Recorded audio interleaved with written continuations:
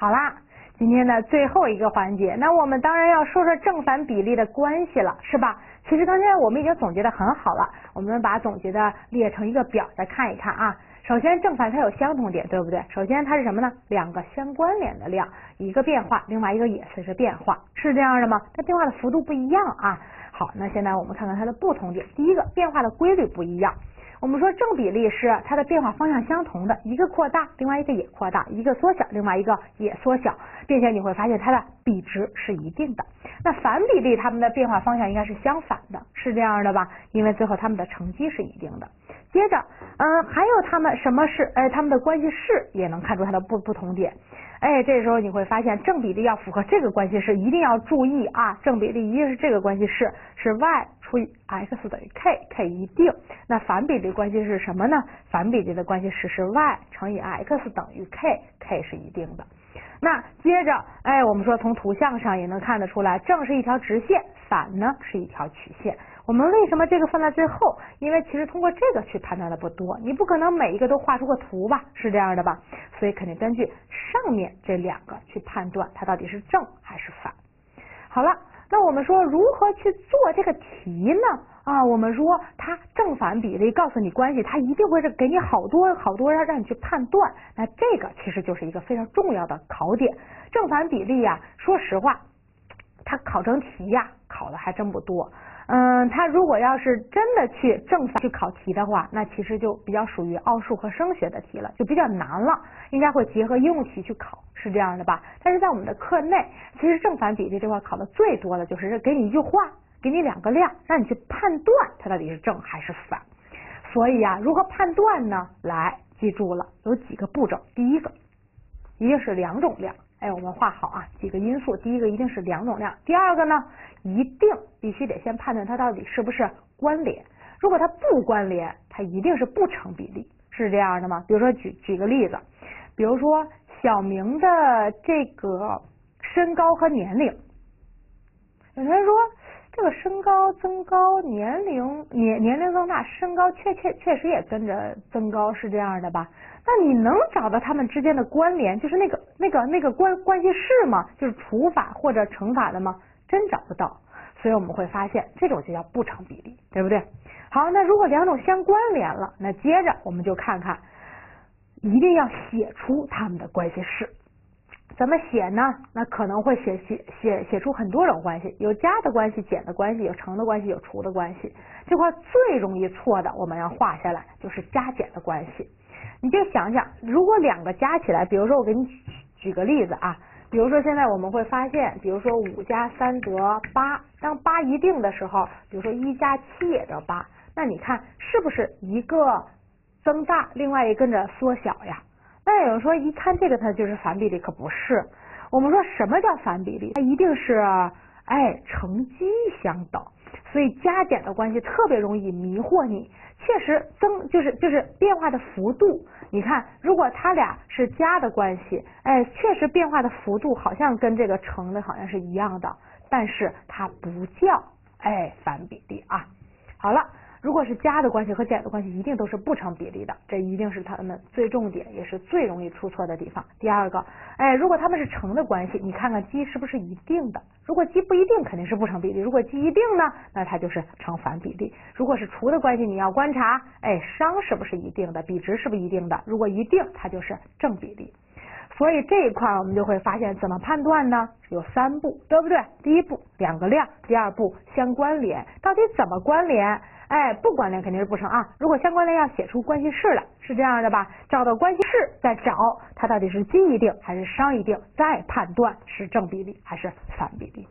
好，有同学说你说这么多我记不下来，OK，来，田老师给你一个知识口诀：正反比例莫慌张，一找二写三计算。什么意思呢？一找就是找，哎，它们是否相关联？二写是什么呢？就是哎，把这两个的。关联的怎么关联的？给它写出来。什么叫三计算？因为有时候啊，它一下你看不出来，可能你需要计算一下。哎，他们他们的关系你写出来了，但你必须得通过计算一下，你才能发现它到底是积一定还是商一定。所以有的时候它不是直接给你的，你得计算一下。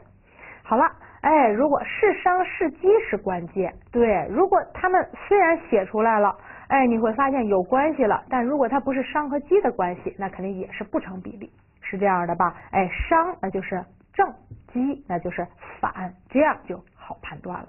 好，记住这个口诀，我们再念一遍啊，正反比例莫慌乱，一找二写三计算。哎，是商是积最关键，商正积反好判断。好了，根据这个，我们看看。首先呢，我们在做题之前，老师先给大家补充一下，就是在奥数拓展部分，哪一块用正反比例用的最多呢？其实就是我们的行程问题。行程问题的三个量正反比例它是有关系的，路程、速度和时间啊。首先我们能发现行程问题最最关键的关系式就是路程等于速度乘时间，是这样的吧？那根据这个，我们思考一下，如果现在路程一定，路程一定的时候，它俩什么比例啊？你看，首先。他直接给你写出关系式了，对吧？那路程一定是不是说明它的乘积一定啊？所以它俩肯定是成反比例关系的。那就说明速度，比如说两个人速度的比如果是三比二的话，那他们时间比一定是二比三。你这么判断，速度大的时间肯定怎样呢？哎，速度时间肯定用的短嘛，对不对？好，第二个，如果当速度一定的时候，你想当速度一定的时候，它俩什么关系呢？哎，最关键是找乘积或者找商，找乘积能找得着吗？他俩好像成不了积，那他俩能不能找到除法关系呢？你得把这个算式变一下形。所以现在你就知道，哎，路程除以时间是不是应该等于 v？现在 v 一定啊，那是不是商一定？所以他们肯定成的是正比例。那最后一个肯定是当时间一定的时候，他俩什么关系呢？还是找乘积还是找商？肯定还是商，那就是 s 除以 v 应该等于 t。所以 t 一定的时候，那他俩自然就是成正比例。所以通过这块，我们也会发现一个问题，就是关系式可能有一个，那接着你要怎么办呢？你要通过不断的变形，你就找到底是能变成商的，还是能变成乘积的，再判断到底是正比例还是反比例。好了，那来我们赶紧判断一下啊。我们嗯，我们说例四这道题可能判断了好多种不同的类型，这些都是我们在考题里，老师从考题里给大家摘。摘出来的基本上就覆全部覆覆盖住了啊，虽然虽然题多，但是我们刚才根据刚才的都判断的出来，比较好判断啊，所以千万不要烦，不要着急。我们说判断 x 和 y 到底成什么比例，好，你会发现哎，全都是关系式。那有人说这不是 x 和 y，a a 和 b 啊。好，第一个我们会发现 x 和 y 成什么比例呢？首先我们先想想第一步是不是关联。它其实这么一写好，就说明它肯定是关联的，所以这块先不用你判断。第二步，哎，就是找这个把它关系式写出来，它已经也给你写出来了，所以第二步也省略了，所以我们直接做第三步就完了，就是找乘积或者商，是这样的吧？第一个是乘积一定。所以你就知道它一定是成哎反比例。第二个你会发现哎商一定，那肯定就成的是正比例。第三个你发现哎加法这一定，那当然哎最容易错的不成比例。那减法这肯定也是不成比例啊。好，现在我们看看这个第五个就有点绕了。那它写成这样的形式，没有解释 x 乘 y 和 x 除 y 的怎么办呀？你自己变一下形。这块你看，一定能变成的就是 y 除 x 得三，所以变完形你就知道这肯定成的是正比例。那第第六呃第六个题还是一样，你自己要变一下形，是是除法关系还是乘法呢？哎，这个时候你会发现，其实这应该是被除数除以除数等于商，所以它俩肯定做的是乘法关系，所以 x 变成了 x 乘 y 得六，那自然就推出的是哎反比例。好了，那接下来两个同学们先自己去改改形式，判断一下，回来我们一起对答案。好，同学们做完后后两个了吗？来，我们看看这个啊。对，最关键你要找到是 x 和 y 什么关系啊？一看就是乘法。那 x 乘 y 是不是得四啊？所以这是肯定就是反比例。最后一个啊，我们说 a 和 b 什么关系？哎，这个其实就用到了比例，是这样的吗？那它可以用比例的基本性质呀，哎，交叉相乘、积相等，所以肯定是 a 乘 b 得三十。那乘法关系积相等，那自然就是反比例。好了。那有同学说，我们刚才判断的时候都没用到第一步判断两个是否相关联，也没用到第二步，我们要把这个关联写出来。哎，为什么呢？因为它是那样的算式给你写好了，但如果是这样的话，你就得做前两步了。好，那现在我们赶紧看看啊，说九一个非零的数和它的倒数，首先它们肯定是相关联，我们能判断出来，对吧？好，第二个我们要写出它的关系式，一个非零的数和它的倒数，比如说 a 和它的倒数就是 a 分之一，是这样的吗？那能写写写成什么样的关系式呢？哎，这时候我们就能写出一个关系式，是不是两个这个这个 a 和这个倒数相乘，是不是乘积得一呀？这其实就是倒数那个意义嘛，是吧？就是首先乘积为一的两个数互为倒数，对吧？所以这时候我们就会发现，它俩是什么关系呢？它俩是不是乘积是一定的？所以这时候它一定乘的就是反比例。所以你看，这个时候就得用到了前两步了。好，接着我们看一下十和十一，它肯定是相关联，对不对？好，那我们把它关联的一个算式写出来啊。周长和半径的关系，周长应该等于二派 r，面积应该等于派 r 方。好，那现在我们想想，周长跟 r 之间什么关系？这个周长跟 r 之间肯定是除法，所以给它改成 c 除二的二派。哎，别看派是字母，但人家派是一个定值，是这样的吗？它叫圆周率啊，所以它这是一定的，那自然它就成的是正比例。那下一个我们看看，哎，面积跟半径之间，S 如果除以 r 的话，应该等于什么呢？哎，你就把两边都除 r 的话，那这边是不是还剩一个派 r 呢？r 这个一直在变，所以它一定是个不变量，那这个就叫不成比例。好了，那前四个我给你写好了，后面还有几个，同学们先自己做做，待会儿回来我们一起对一下答案。好，同学们做完了吗？我们一起看一下啊。那还是一样，圆哎，在同一个圆中，人家为什么要说在同一个圆中？因为在不同圆中，那它俩就没关联了，对吧？所以在同一个圆中，你会发现直径跟半径，我们直接就能想出来，直径除以半径得二，所以它就应该是哎正比例。好，下一个啊，工作总量一定的时候，我们要首先它是关联的，写出关系式。那工作总量应该是等于工作效率乘以工作时间。所以通过这块，我其实我们也把之前的一些应用题啊这些相关的复习了一下啊。它俩相乘等于它乘积关系，乘积一定，所以肯定成的是反比例。好，接着我们看一下这个小明的身高和体重，刚才说了，他们叫哎不就是就。就是不关联是这样的吧？根本写不出那关系式，所以肯定是不成比例啊。接着第十五题，这道题考试的时候出过无数次，说一条长为两千米的公路，已修好的部分和剩下的部分。好，那我们想一下，首先首先它们是关联的，写出关键式的话，应该是已修好的部分加上剩下的部分应该等于二，加法关系啊，这个是不成比例啊，一定不是乘和除的关系，那都是不成比例。哎，所以这块它为什么考？因为很多同学就误以误认为那一个随着另外一个变大，那它就叫正比例；一个随着另外一一个大一个小，那就是反比例。那可不是，一定要找到乘和除的关系。好，第十六题，购买同一种呃电脑的台数和钱数。好，你就想，既然是同一种电脑，说明什么是不变的？哎，单价不变。所以这时候你就会发现钱数。除以台数等于单价，单价一定，那自然就是正比例。好了，最后一个班级人数一定，每行占的每行占的人数和占的行数，那你就想他们的关关系是什么呢？每行的人数乘以行数，是不是就是他们班的总数？总数现在一定，那自然成绩一定的时候，乘的就是反比例。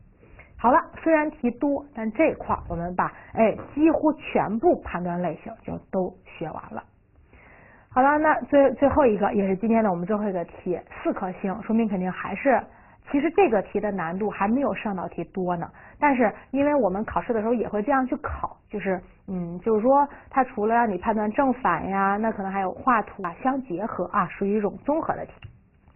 好，他说现在呀，一条彩彩带每米长两米，呃，每每米两元，购买两米、三米分别需要多少元？首先啊，你先填个表，那我们先填个表呗。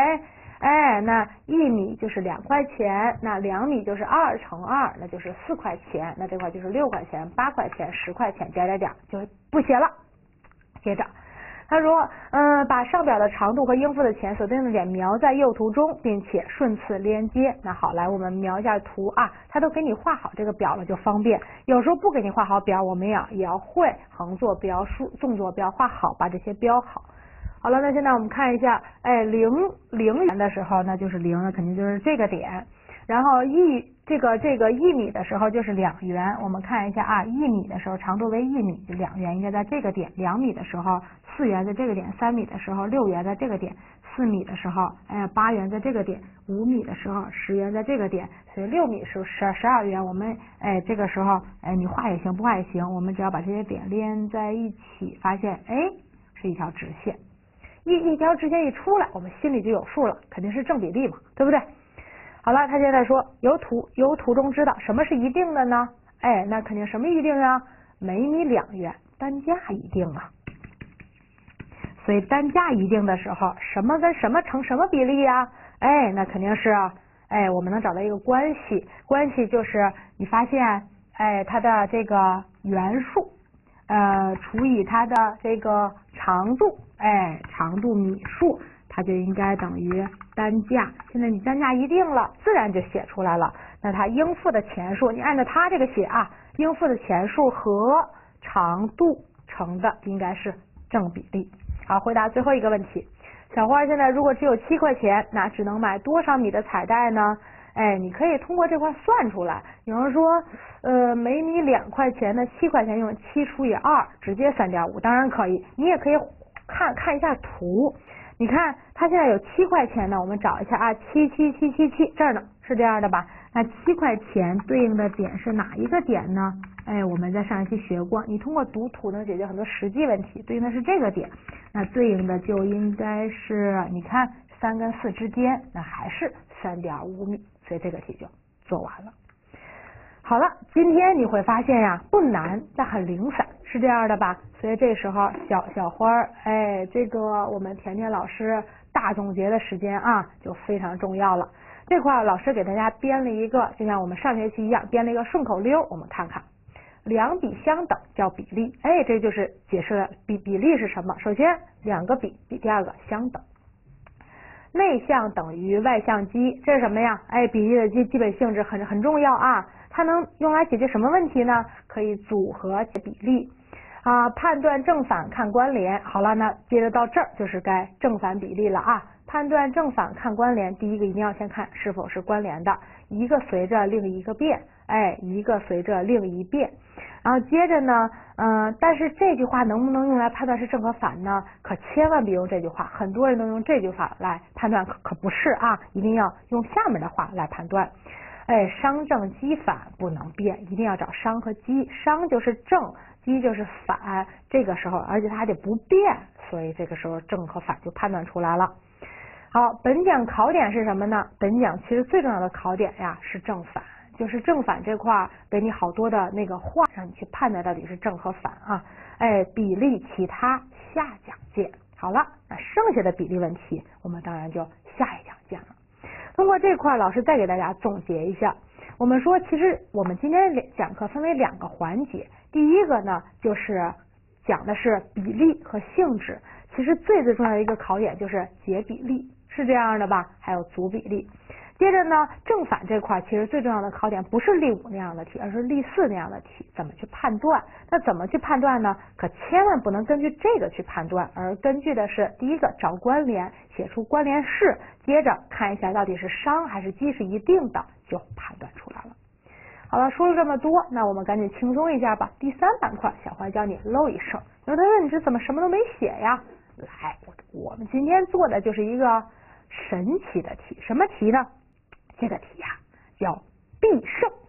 我们说呀，很多题它都是有必胜策略的。